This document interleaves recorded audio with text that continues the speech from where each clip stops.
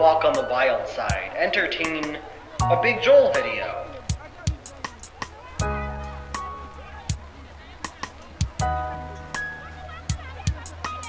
We have taken the narratives that give our lives meaning and purpose and replaced them with easily consumable trash.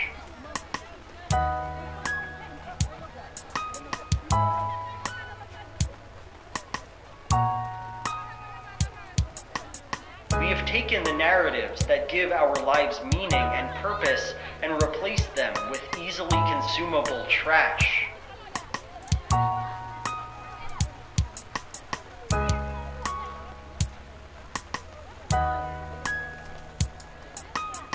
He just like isolates a personal, intentionally non-data driven perspective on white privilege and is like, wee you, I'm the science police, that's personal and not even data driven, wee woo.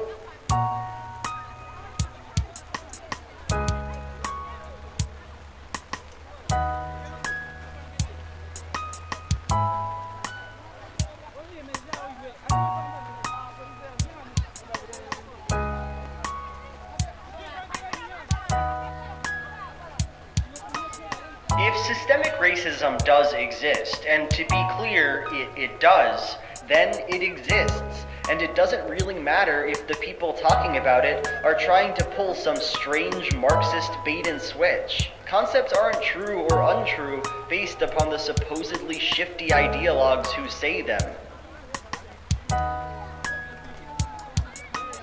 We have taken the narratives that give our lives meaning and purpose and replaced them with easily consumable trash.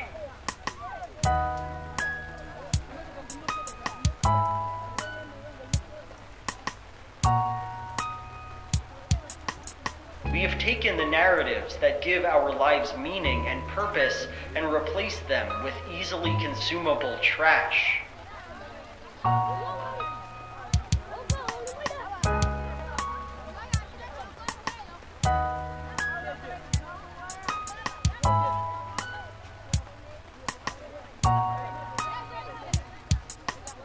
If I say a fact about the world we live in, and you respond that I suck and my house isn't in order, well, you might be right about that, but it doesn't challenge anything that I said. And, you know, that's the main thing I'm gonna need to hear to be convinced that I'm wrong.